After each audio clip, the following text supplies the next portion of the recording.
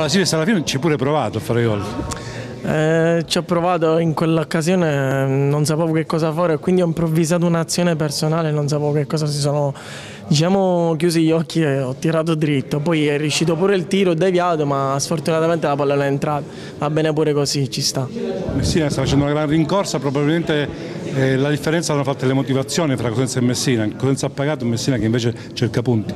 Sì, noi stiamo bene, noi abbiamo fame, diciamo, loro si trovano là in alto già da un bel po' di tempo, noi stiamo facendo questo, questa bella rincorsa che, che ci sta pagando, diciamo.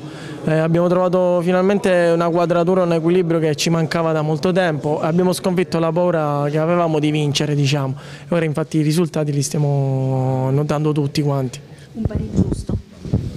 Diciamo un pari diciamo 70-30, 65-40 così.